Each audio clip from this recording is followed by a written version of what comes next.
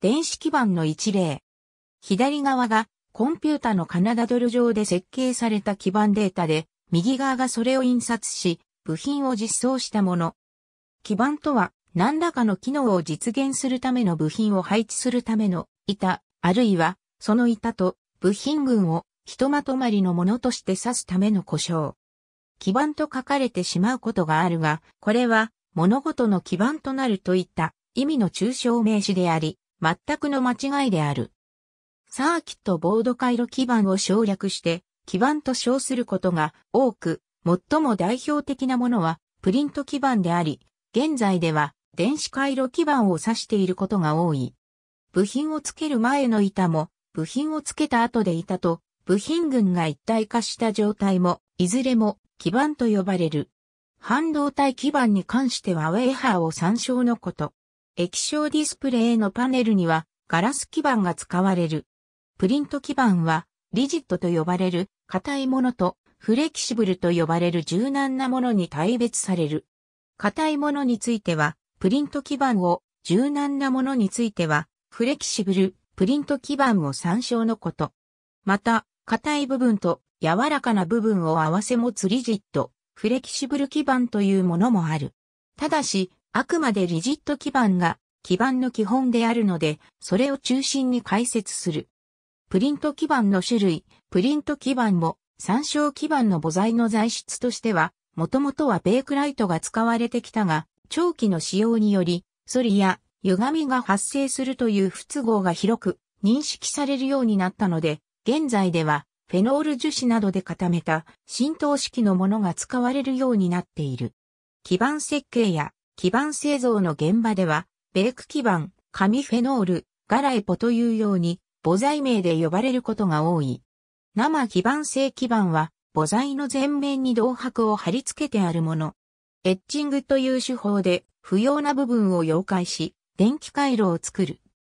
電子部品を立てる穴は必要に応じて開ける必要がある。高周波電子回路の試作では、不要な銅箔を切削して利用されることもある。ユニバーサル基板上に構築された AM ラジオユニバーサル基板ジャノメ基板、万能基板、ディスクリート基板、アナーキ基板とも呼ばれ、母材の絶縁板に規則的なパターンの銅箔と穴が開いている。一定間隔の格子状に貫通孔と銅箔のランド、そして数個のランド間を結ぶ銅箔の配線がエッチング形成されている基板である。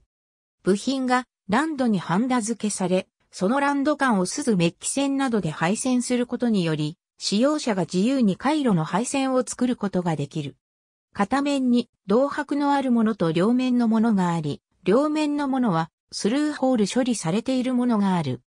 電子部品の端子形態やアナログ回路、デジタル回路の便益に考慮した多様なデザインと大きさのものが販売されており、例えば IC ピッチ基板と呼ばれるデジタル回路用のデザインの中では、集積回路の形に合わせて、あらかじめ引き出し線、電源ラインなどのパターンが付けられたものもある。趣味での電子工作や試作実験、一品製作に用いられる。ストリップボードの拡大写真ストリップボードユニバーサル基板と似ているが、銅箔部分が短冊状につながっているもの。必要に応じて銅箔部分を剥がして電気回路を作る。主に欧米で使用される。日本では FCZ 基板として同様のものが市販されている。穴開きベーク板格子状に小さな無数の穴が開けられた絶縁物の板。銅箔はついておらず、部品のリード線などを用いて配線する。トランジスタが普及し始めた頃の自作に広く用いられた。ブレッドボードブレッドボード趣味での電子工作や試作実験に用いられるハンダ付け不要で電子部品を差し込むだけで配線が可能な基板。一部の試作会社ではプリント配線板で製品前の試作基板のことを言う。マトリックス基板ユニバーサル基板の一種で折り紙のやっこさんの形をしている銅箔を基板に、マトリックス状に構築し隣り合うやっこさんの手は、上下左右につながっているもの。近年多用される、チップ抵抗、チップコンデンサー IC など、面実装部品を実装可能としたものである。